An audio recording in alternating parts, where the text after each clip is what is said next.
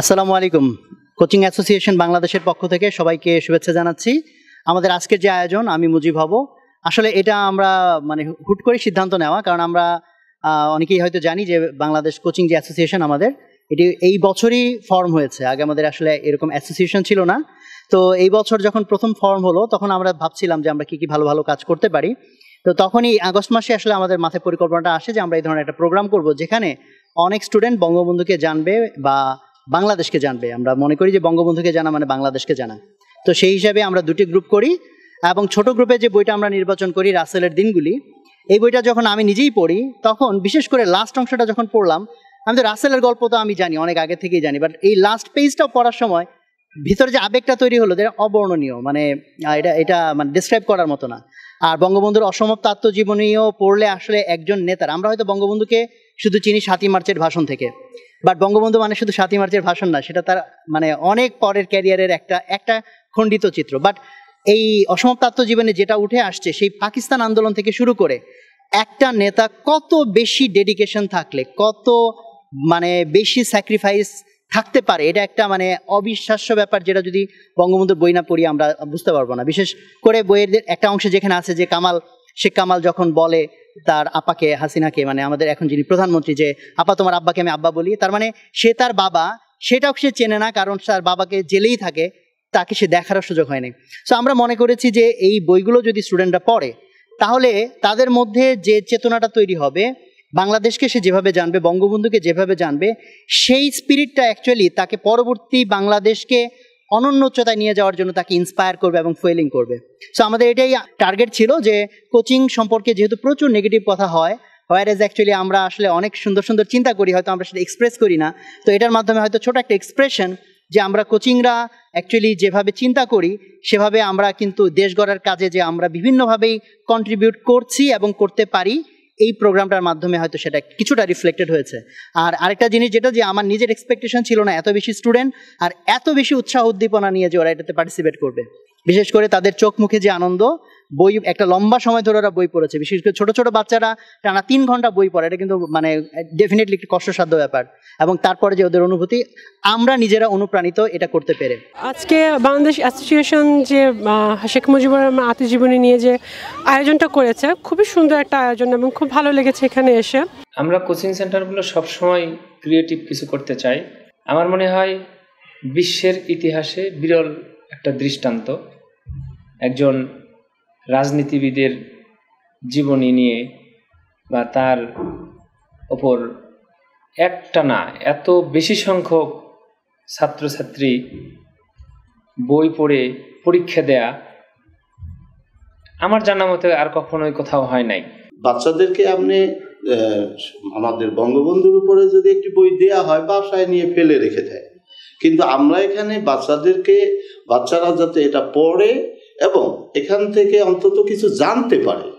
এই জন্য আমরা করছি কি, আমরা তিন বাচ্চা যখন ঢুকে, তখন তার হাতে একটি বই দিয়েছি।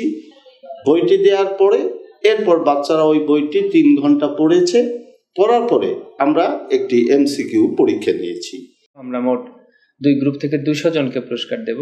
প্রথম পুরস্কার হিসেবে আমরা রেখেছি খ গ্রুপের তিরিশ হাজার টাকা, দ্বিতীয় পুরস্কার বিশ হাজার টাকা তৃতীয় পুরস্কার দশ হাজার টাকা এবং ক গ্রুপ ছোটদের জন্য প্রথম পুরস্কার পনেরো হাজার টাকা তৃতীয় পুরস্কার দশ হাজার টাকা এবং তৃতীয় পুরস্কার পাঁচ হাজার টাকা। এছাড়া আরও বেশ কিছু আকর্ষণীয় পুরস্কার থাকবে। মোট দুই গ্রুপে দুইশোটি পুরস্কার প্রদান করা হবে। আমি বই পড়তে ভালোবাসি আর আমি শেখ মুজিবুর রহমান সম্পর্কে আরও বেশি জানতে চাই তাই আমি এখানে এসেছি।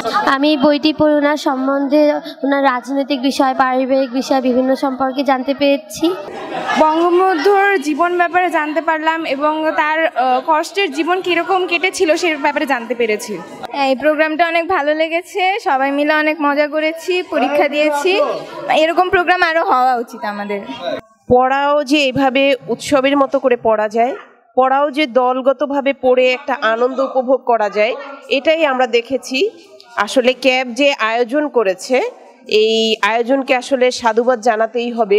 আমি আসলে শেখ মুজিবুর রহমান সম্পর্কে জানতাম বাট এতটা জানতাম না। আজকে আমি এই বইটা পড়ে যা জেনেছি তার শৈশব কৈশোর সম্পর্কে অনেক কিছু জেনেছি তো খুবই ভালো লাগতেছে।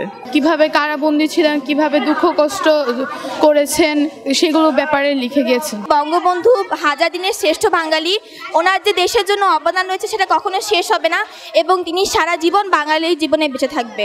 বঙ্গবন্ধু সম্পর্কে ছোটবেলা থেকে অনেক জানতাম। এই প্রোগ্রামে এসে বঙ্গবন্ধু সম্পর্কে বিভিন্ন নতুন নতুন তথ্য পেয়ে লাগতেছে যেন মানে বঙ্গবন্ধু সম্পর্কে আরও বেশি জেনেছি অনেক বেশি সার্থক হয়েছি সফল হয়েছি। বইটা পড়ে অনেক কিছু জানতে পেরেছি এই যে আমাদের স্বাধীন বাংলা যেখানে আমরা দাঁড়িয়ে আছি তার পিছনে মুজিবের যে কর্তৃত্ব সেটা আমরা জানতে পেরেছি।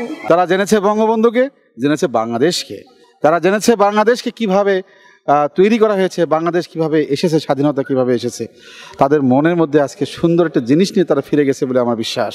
আমি বঙ্গবন্ধুর বিষয়ে অনেক কিছু জানতে পেরেছি আমার অনেক ভালো লেগেছে এবং এই সার্টিফিকেট পেয়ে আমি অনেক খুশি। কি বাংলাদেশে এর আগে আমি কখনোই এরকম কোনো প্রতিযোগিতায় অংশগ্রহণ করি নাই আর যেহেতু এটা বঙ্গবন্ধুকে নিয়ে আমাদের আর কি উৎসাহ এবং আগ্রহটা আর দুটোই বেড়ে গেছে একসাথে আমরা এরকম প্রতিযোগিতা প্রতি বছরই চাই। শিক্ষামূলক যে কোনো কিছুই আসলে বাচ্চাদের জন্য অনেক ভালো। এই পরীক্ষাটা দেওয়ার পরে যে সার্টিফিকেটটা একটা আলাদা স্মৃতি হয়ে আসছে আমার জন্য।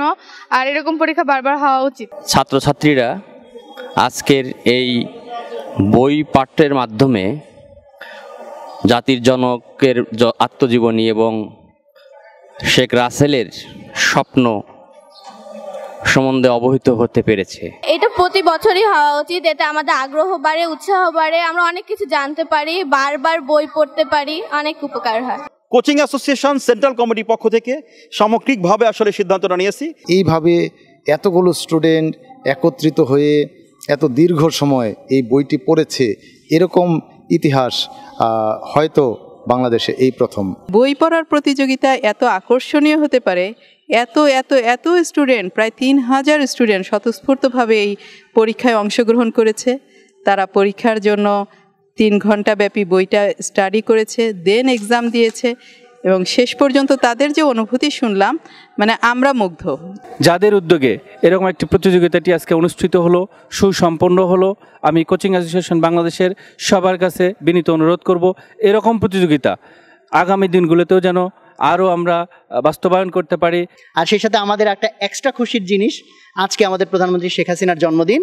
সো আমাদের এই অনুষ্ঠানটাও আমরা সেইভাবে প্ল্যান করেছিলাম যদি আমরা এই দিন অ্যারেঞ্জ করতে পারি so that it's a little gift from us so আমাদের কোচিংগুলো দেশ গড়ার কাজে আরও এগিয়ে আসবে। আমরা সবাই মিলে একসাথে ইনশাল্লাহ অন্যরকম বাংলাদেশ তৈরি করব, এটাই আমাদের স্বপ্ন। সবাইকে ধন্যবাদ।